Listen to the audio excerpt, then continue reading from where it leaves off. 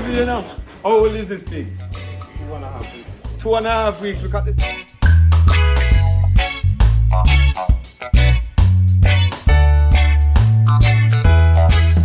Hi, good evening. We're here. It look like it's getting dark here now, but I just came to look for Devon, Mr. Richards, and um, Mr. Richards, this is your farm. I'm finally here. And And uh, Philip Manbarman. Philip Manbarman, if I pronounce it right. Yeah. So you are the manager of the farm here. No, the goat. Oh, you take care of the goats them Yeah. here. Okay. And this is um Devian farm. So this is the first time I'm coming here and seeing his farm. As you know, I come here to do some small ruminants business. I'm the president of the Small Ruminants Association of Jamaica. And Mr. Richards is the I'm the treasurer of the Small Ruminant Association of of Jamaica. Jamaica. And as you know, Trevor is my boss. No, I don't. I would have put it like that. I would have put it like that. But he's the man, the treasurer, in control the money, all the membership stuff that is going on. I know you guys have been talking to Mr. Richards from time to time. He's signing up as members and so forth. Now you're putting a face to it. This is Mr. Richards. Now, I come here to have a look at his farm today. But I also wanted to have a discussion with Mr. Richards about some things because he was asking me some, some questions. As you know, the small ruminants project that we are doing now, we have the government is going to be importing some animals.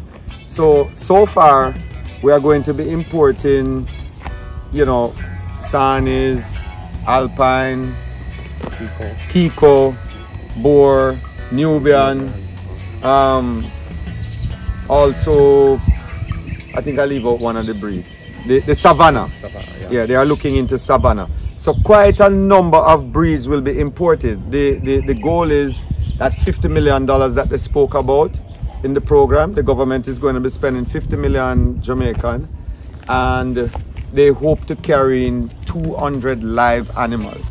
This is an ongoing process and they have started to look for animals and starting to doing all those kind of things. But Mr. Richards, are you going to bring in animals? You want to be a part of this program? Most certainly. I mean, Mr. President, I'm most particularly interested in the Kiko breed. Okay. And the Kiko breed and what makes it more, well, when you look at the curry goat in Jamaica, and you know Jamaican love curry goat, Mr. President. And we, I think the Kiko give, as the President would say, best conversion of meat to bone ratio. And forages. They make very forage. good use of forages. They Yes. can live on, you know, very poor forage. yes, so they are tough goat. Right. and you know i am looking to bring in uh, quite a number of the kiko breed however what makes me excited about this project is that farmers like you our dear farmers you can also sign up to bring in uh, any particular breed of goat that is mentioned within the five species of animal that is coming in So, farmers, anybody in Jamaica can be a part of this program. so mr president please explain to me how do you sign up to be a part of this program All right. So, farmers, what you have to do, anybody who want animals, whether Kiko, Boer, Nubian, whichever, even if it is animals that are not mentioned in this in this program, you have to let us know. The small ruminants members are on the executive, like Mr. Richards, myself, Mr. Dunn. You know, our numbers are out there. our herd development officer mr or Mr. Herd, our Herd Development Officer, Mr. Sears. All those people are there. You just give in the names. You can call any of us. We want your name, the type of animal that you want, and you know any other information. And then what will happen is that you have to pay for your animals, and the animals can come along with the animals that the government is bringing. That's generally how it's going to be working. And um, you know anybody can, inter- and it's not just goat, it's sheep. sheep too yes It's both goat and sheep. So one of the things is very important is for farmers, anybody who is interested and you have your money, you can buy your animals and ship it with the government's animals. And I've, I'm even hearing of talk that there might be, you know, the shipping costs. The government might help with the, shipping, costs. yes. Right. So it's just for the cost of the animal. Mr. They have to pay for the cost of the animals. They have to pay for, you know, like quarantine and vaccination and health certificate it's quite a, a, ta- a tedious process, but you can be a part. Now, what happened is that the government is looking at, you know, different farms all over the United States, and when you farmers you give us these names, we will keep updating you as to what is happening as we go along. So question, Mr. President. Do you have an idea about the cost to Well, a Boer goat will cost you anywhere from 1200 US to maybe three, 4,000 US. It can cost you 10,000 and 50,000 US too. But that's the general price. I would say Nubians will go for anywhere between like 500 maybe to 1200 US and most of the other milking breeds like that. You will see prices like that. Kiko, I'm thinking to, I've never really, but I think in the Kiko maybe like 500 to maybe 1200 US. I, I'm not really sure of the, the, the pricing, but this is what I'm generally seeing. But remember though, if you buy a goat for 12 for a thousand dollars US, transportation maybe 200 US, vaccination, you know, and all of that health thing, maybe another 100 to 200 US. It's quite an expensive process to get all the paperwork and all the different quarantine. You have to build a special wooden crate to transport the animals in you have to, you know, it's quite a process. And you know it's going to be air freighted to Jamaica. And when the animals reach here to Jamaica, it is also going, going to be quarantine again. I think it's at probably a two weeks quarantine that's going to happen in Jamaica. So, you know, So how would animal reach to the farmers? Would it would the small ruminant association truck it to them or they would have to make special arrangements? all those arrangements can be can be made. Your animals will, will be at the facility. That facility is actually at the airport. They have a quarantine facility out at the airport. And also, I can tell you, you would have to probably go and look for the animals and help with feeding because you have to provide feeding and you know things like that at the facility in Jamaica. Okay. So all of that, Mr. President, can done through the small ruminant association. Yes, we are here, and you know we can help in whatever way we can, and we will um, assist and guide and you know give our. We have the expertise all around us. If I don't know, there's always somebody else In that knows. association. Right in the association. So Our members, Mr. President, keep asking me on an ongoing basis. I mean, how, what benefit mostly they get from the association when they sign up? Well, one of the things, farmers, this you you have to understand that we are here lobbying for you, the farmers, all day long. We are sitting at the table with government. We are sitting at the table with all the institutions that are dealing with goats, sheep, rabbits, and so forth. Now, a program like this, you know, that is because of our efforts over the years that programs like this are happening right here now.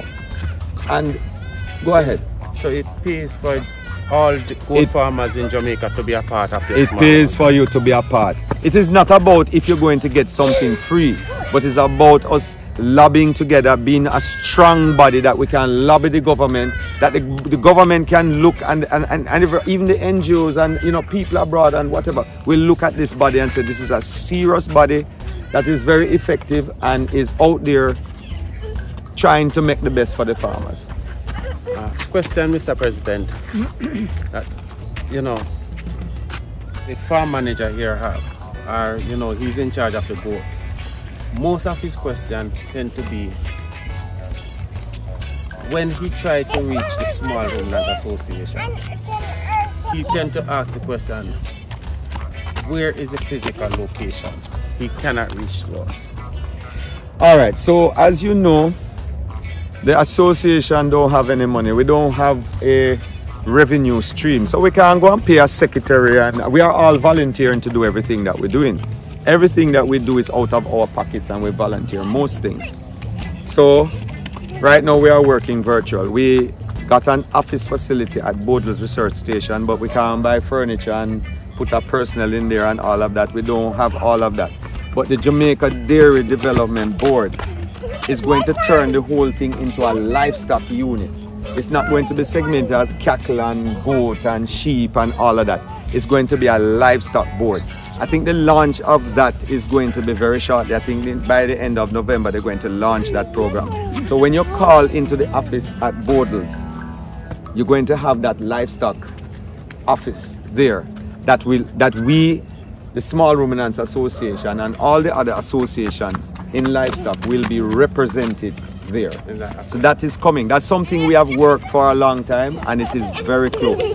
I know It's time is against us, Mr. President, but my final question to you is when will this project start? When will when should I pay my money and when do I expect Pay which money? You mean to be a member of the association? no, for the importation of the animal? It is I don't we don't know yet. They are looking for animals right now abroad.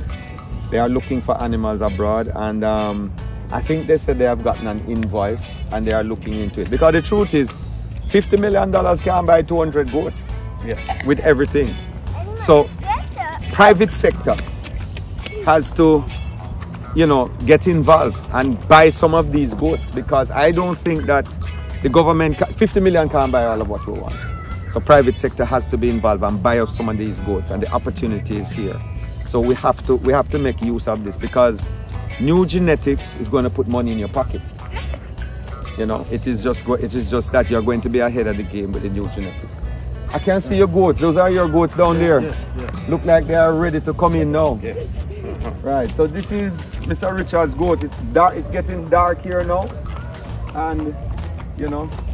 So can you imagine on the milking line? You know, for example, we want to bring in, you know, the Saanen and the milking side and the Nubian. You know, the American Nubian is more a milking line than anything.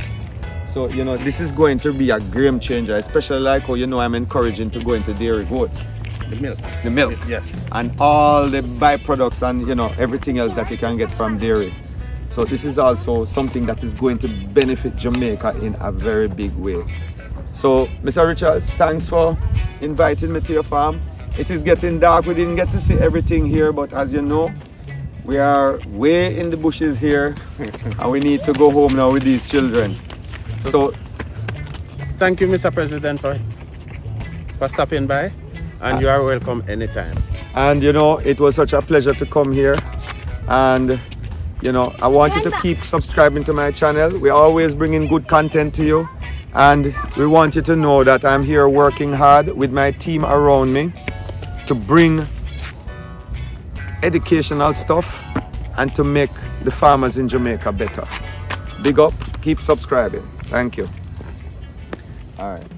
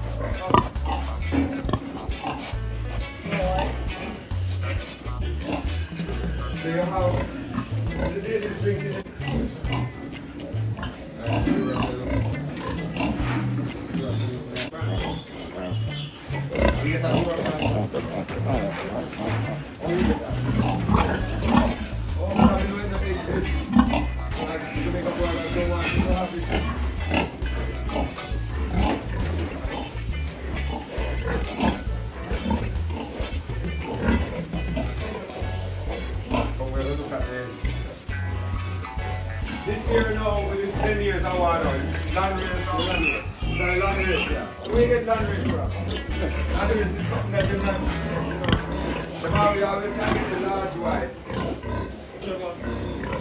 No, me doesn't tell you, because know you can't get. No, hold on, me know, me know. No, we can't engineer there now.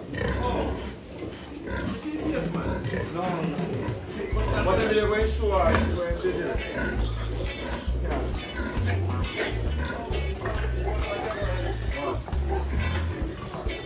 Oh, you don't want to thank?